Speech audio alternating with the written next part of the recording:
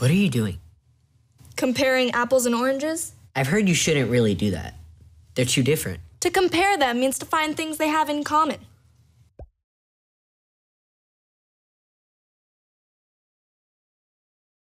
Like they're both fruits and they're both round.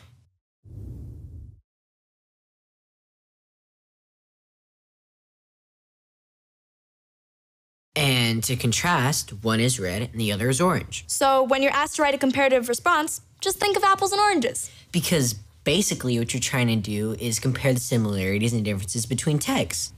Wait, why are you comparing apples to oranges again? Because we're trying to gain a deeper understanding of the fruit.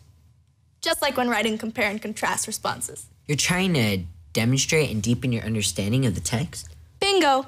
So, do you think you understand apples and oranges better now? Not really. Let's review. Well, I mean, I would have eaten that orange.